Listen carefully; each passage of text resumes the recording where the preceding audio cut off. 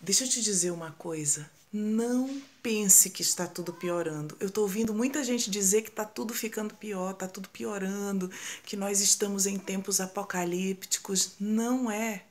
Está tudo melhorando. A história ela só se repete. Nós estamos vivendo um processo de libertação.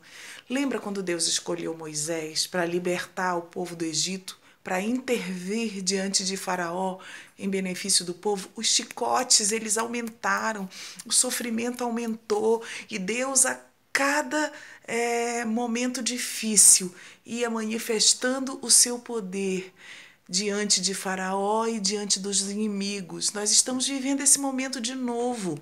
Nós estamos num tempo de libertação.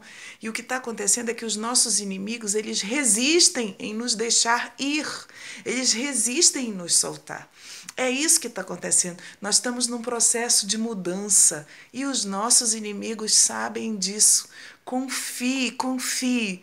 Nós vamos sair percurso à promessa. Nós estamos saindo da escravidão em vários sentidos. Eu não vou me delongar muito.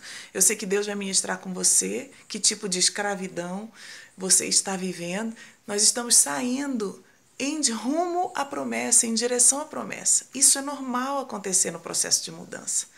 Acredite, nós estamos caminhando para o melhor. O melhor de Deus ainda está por vir.